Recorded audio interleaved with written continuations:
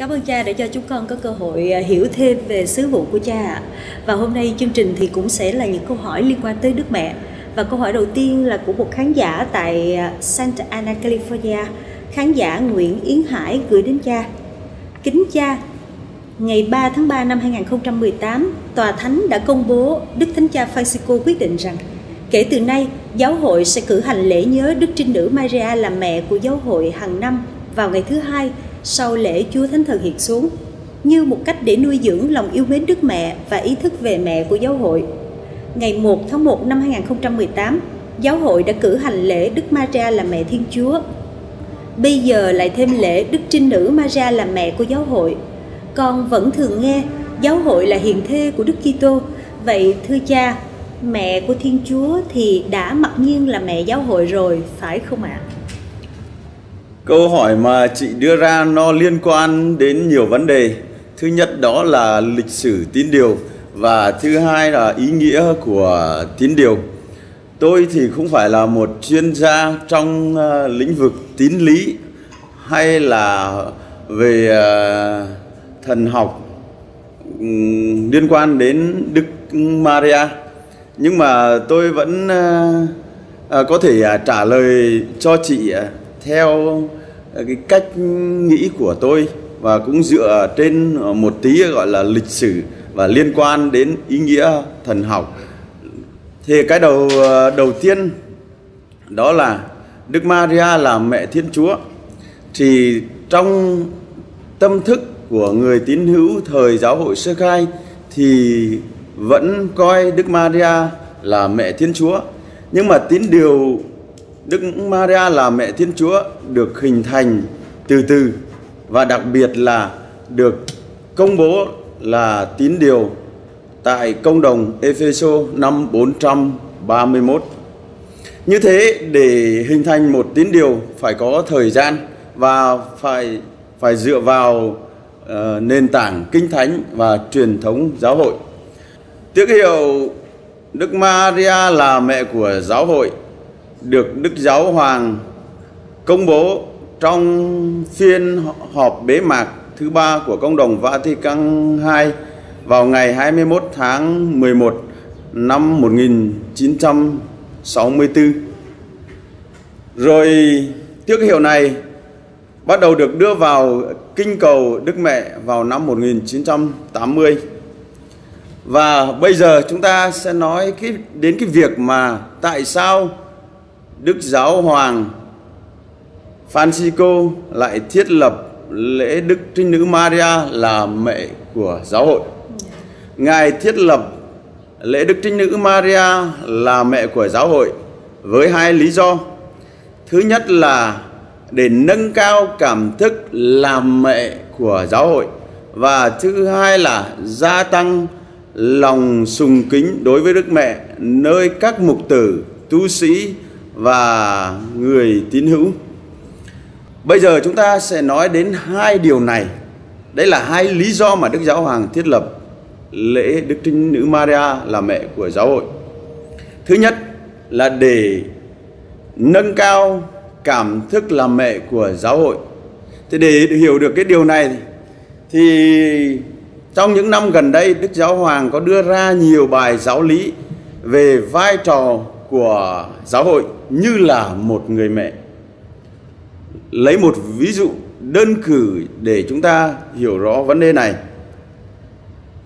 Một đứa trẻ không tự nhiên mà sinh ra được, mà nó được sinh ra bởi người mẹ. Rồi người mẹ có nhiệm vụ nuôi dưỡng đứa trẻ. Vậy thì giáo hội như là một người mẹ sinh ra người tín hữu rồi người tín hữu được nuôi dưỡng đức tin là nhờ giáo hội. Người tín hữu không tự mình sinh ra đức tin, nhưng là nhờ giáo hội sinh ra, rồi nhờ giáo hội nuôi dưỡng đức tin. Và đức tin của người tín hữu được lớn lên, phát triển, duy trì trong lòng giáo hội. Vì thế, giáo hội như là mẹ giáo hội có trách nhiệm, có bổn phận đối với con cái mình. Thì đối lại, con cái cũng có bổn phận với người mẹ của mình.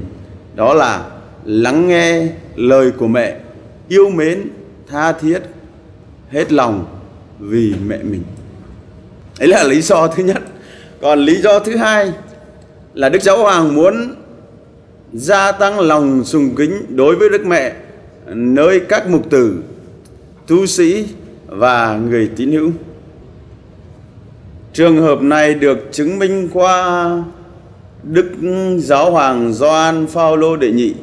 Ngài có tâm sự rằng, từ thời trai trẻ cho đến khi làm linh mục, ngài tôn sùng đức mẹ với một thái độ là kính nhi, viễn tri, không dám tôn sùng đức mẹ. Sợ rằng tôn sùng đức mẹ quá sẽ là vô phép với Chúa Giêsu cho đến khi ngài đọc được tác phẩm của thánh Louis Montfort thì từ đó ngài tha thiết, yêu mến và tôn sùng Đức Mẹ. Rồi khi làm giám mục, rồi sau này làm giáo hoàng, ngài lấy cái câu châm ngôn trong tác phẩm của thánh Louis Totus Tuus để làm cho châm ngôn ừ, giám mục của mình. Từ đó, hết lòng yêu mến và tôn sùng Đức Mẹ. Trong hầu hết các văn kiện của ngài, thì khi kết thúc, thì ngài đều hướng về Đức Mẹ. Qua nhiều sự kiện, đặc biệt là biến cố Đức Mẹ Fatima năm 1917 thì chúng ta cũng thấy được cái vai trò của Đức Mẹ đối với đời sống của vị giáo hoàng này. Giáo hoàng Francisco thiết lập lễ Đức Trinh Nữ Maria là mẹ của giáo hội cũng là vì muốn gia tăng lòng sùng kính đối với Đức Mẹ nơi người mục tử, tu sĩ và người tín hữu. Có lẽ là trong chúng ta nhiều người tôn sùng Đức Mẹ cũng vừa vừa phải phải, sợ tôn sùng quá lại vô phép với Chúa Giêsu.